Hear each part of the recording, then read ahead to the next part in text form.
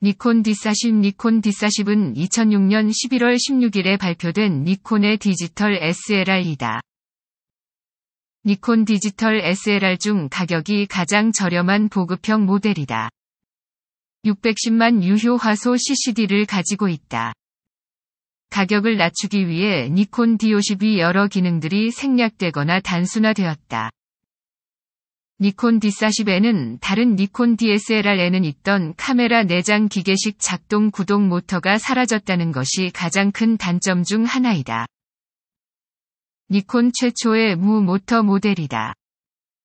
니콘 D40를 시작으로 뒤따라 출시되는 다른 모든 APS-C 기종의 보급형 및 입문자형 DSLR 카메라에는 초점 구동 모터를 탑재하지 않는다.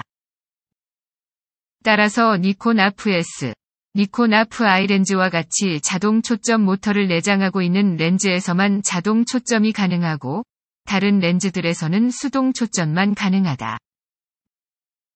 많은 수의 니콘 렌즈들은 모터를 내장하고 있지 않다는 것을 고려할 때, 그리고 DSLR 사용 중 MF은 상당히 비효율적이라는 점을 생각한다면 렌즈 선택의 폭은 상당히 줄어든다.